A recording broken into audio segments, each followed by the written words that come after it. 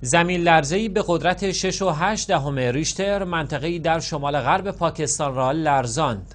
سازمان زمینشناسی آمریکا اعلام کرد این زلزله در عمق 210 کیلومتری زمین در نزدیکی شهر چترال رخ داده است. این زلزله روز یکشنبه منطقه هندوکش افغانستان و همچنین بخشهایی از شمال هند از جمله دهلی نو، پنجاب و کشمیر را لرزاند.